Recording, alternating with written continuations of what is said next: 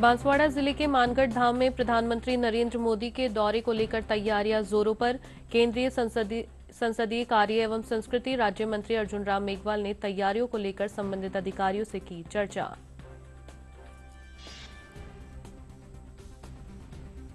राजसमंद में प्रसिद्ध कथावाचक और आध्यात्मिक गुरु मुरारी बापू ने भगवान शिव की तीन सौ उनहत्तर फीट ऊँची विशाल प्रतिमा का किया लोकार्पण। मुख्यमंत्री, विधानसभा अध्यक्ष और नेता प्रतिपक्ष सहित कई जनप्रतिनिधि और ख्यातनाम हस्तियाँ रही मौजूद। शिक्षा मंत्री डॉक्टर बीडी कल्ला ने जोधपुर में राजस्थानी भाषा के प्रचार प्रसार के लिए आयोजित कार्यक्रम को किया संबोधित। कहा, राज्य सरकार राजस्थानी भाषा को मान्यता दिलाने के लिए कर रही है, पूरे प्रयास।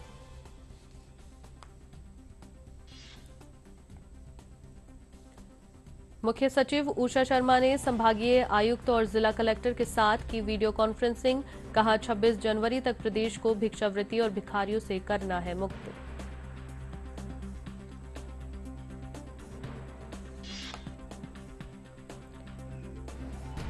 प्रसिद्ध गांधीवादी विचारक डॉक्टर एस एन सुब्बाराव की प्रथम पुण्यतिथि पर जयपुर में आयोजित किया जा रहा है राष्ट्रीय एकता और सद्भावना शिविर। प्रतिभावान युवाओं ने लिया विभिन्न कार्यक्रमों में हिस्सा।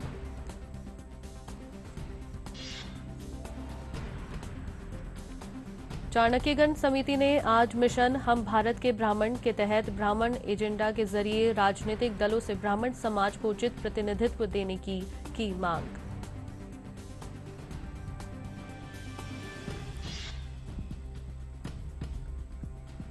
बीकानेर में भारतीय सेना के रणबांकुरे डिवीज़न द्वारा भूतपूर्व सैनिक कल्याण रैली का किया गया सफल आयोजन। 1300 से अधिक वीरांगनाओं और भूतपूर्व सैनिकों ने लिया भाग।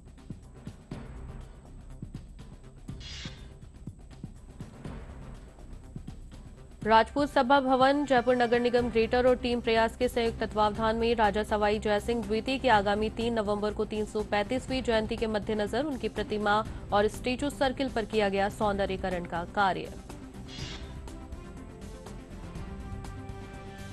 बस्ती विधायक लक्ष्मण मीणा द्वारा कानोता में दिवाली स्नेह मिलन समारोह का किया गया आयोजन। कार्यक्रम में प्रधान इंदिरा शर्मा, पूर्व पार्षद बैनी प्रसाद कटारिया और आमजन रहे मौजूद।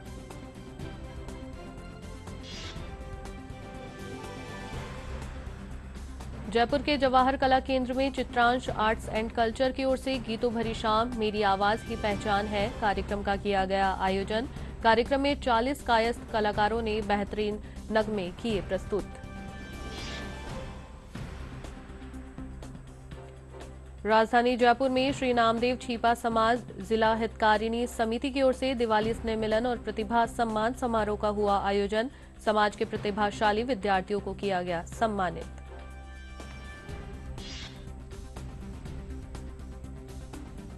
राज्य सरकार ने जयपुर वासियों के लिए मेट्रो सुविधा को और अधिक सुलभ बनाने की दिशा में मेट्रो विस्तार के लिए स्वीकृति की 204 करोड़ से अधिक की धनराशि। मानसरोवर से अजमेर रोड चौराहे तक निर्माण को दी गई मंजूरी।